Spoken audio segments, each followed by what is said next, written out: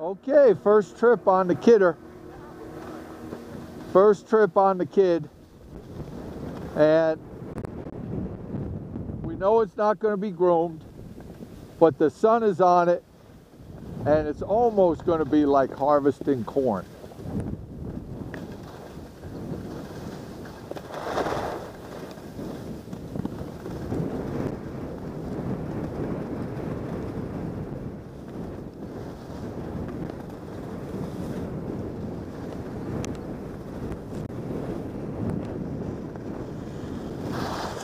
Get off that, that's where the, the sun baked it and it got blown off.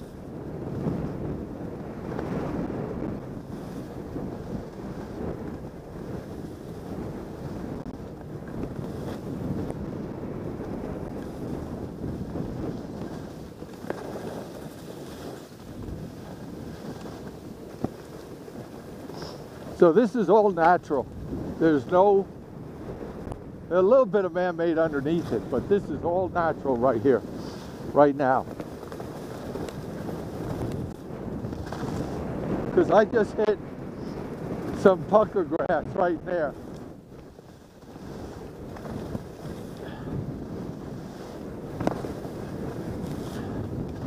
And we're not going to be doing the cruising and carving like we were doing before. We got to back that down, do a little hopping and bopping here into the, the moguls and the big grooves on it.